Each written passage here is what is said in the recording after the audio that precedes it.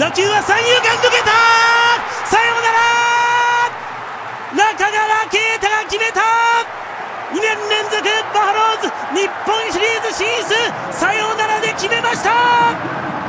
去年に続いて2年連続さようならで日本シリーズ進出。最後中川圭太。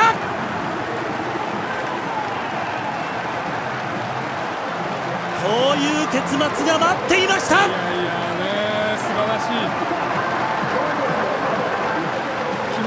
したね。ね。